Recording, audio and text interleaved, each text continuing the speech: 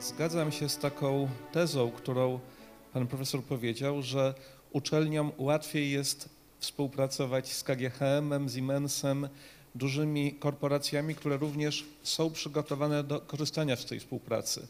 Bardzo często to jest tak, że duże firmy, duże korporacje wiedzą, gdzie szukać pomocy i z kolei przykład, o którym mówił pan burmistrz, pokazuje, że można znaleźć, istnieje no ta większość, jeśli chodzi o liczbę firm, która jest firmami, mikrofirmami czy bardzo małymi przedsiębiorstwami, w których no, przedsiębiorca nie ma czasu czy nie ma zasobów, żeby odwołać się takimi tradycyjnymi metodami do kontaktu z uczelniami.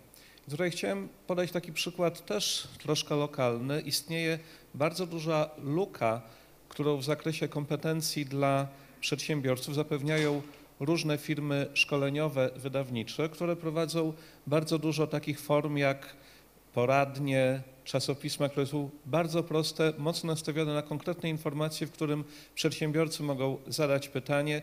Nie wiem, czy Państwo jeszcze macie takie doświadczenie zakładania firmy, ale kiedyś było tak, że każdy, kto założył działalność gospodarczą, dostawał niejako z urzędu od kilkunastu wydawnictw ofertę Uwaga, zostałeś przedsiębiorcą. Uważaj, Urząd Skarbowy czyha na ciebie. Jak będziesz czytał nasze czasopismo, no to unikniesz poważnych problemów. A oczywiście uczelnie, zwłaszcza uczelnie biznesowe, są tym miejscem, gdzie taką pomoc można by uzyskiwać. I teraz chciałem Państwu troszeczkę, nawiązując do tej dychotomii, o której wspomniał Pan Profesor, pomiędzy globalnym spojrzeniem a lokalnym spojrzeniem, wspomnieć taką inicjatywę, którą no, organizacja bardzo międzynarodowa, bardzo globalna, czyli EFMD, European Foundation for Management Development, organizacja akredytująca no, między innymi Akademię Lona Koźmińskiego, wprowadziła dwa lata temu taką inicjatywę Business School Social y, Impact Survey, który miał badać oddziaływanie uczelni na bardzo lokalny rynek. Tam oczywiście uczelnia miała deklarować, co to znaczy lokalny dla niej. Czy ten lokalność to jest no, kraj, jeżeli mówimy o uczelni na przykład Luksemburga, tak? czy to jest dzielnica, czy to jest miasto, czy powiedzmy jakiś region, ale w tym badaniu to nie jest akredytacja, to jest sposób powiedzmy mierzenia tego wpływu na lokalne przedsiębiorstwo.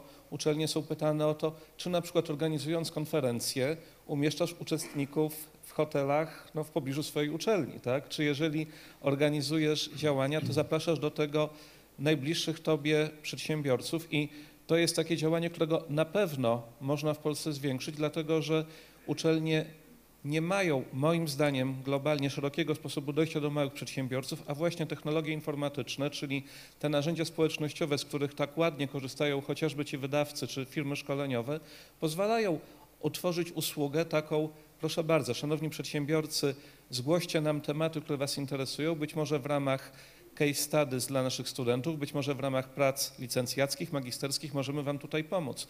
No jak rozumiem, jest to jedna z idei, która przyświeca z jednej strony Forum Przedsiębiorczości, ale także nowemu projektowi Klinika Przedsiębiorczości, którą Pan Profesor prowadzi, w którym mamy y, zaszczyt uczestniczyć. Jest to próba dotarcia do tych przedsiębiorców, którzy sami nie trafią do uczelni.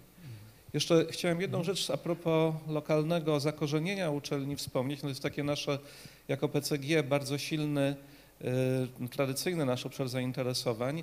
Kiedy mówimy o zakorzenieniu, nie myślmy tylko o biznesie, nie myślmy tylko o tym, z kim możemy współpracować od strony, że tak powiem, wyjścia, ale popatrzmy też na to, że lokalne środowisko jest dla nas wejściem niejako, tak? Jeżeli przypomnimy sobie wyniki analiz rekrutacji na uczelnie, to w dalszym ciągu w Polsce około 40% studentów pochodzi z lokalnych szkół. W przypadku Akademii Lona Koźmińskiego na drugim miejscu, jeśli chodzi o liczbę przyjętych maturzystów, jest liceum Lisakuli, które znajduje się na Targówku.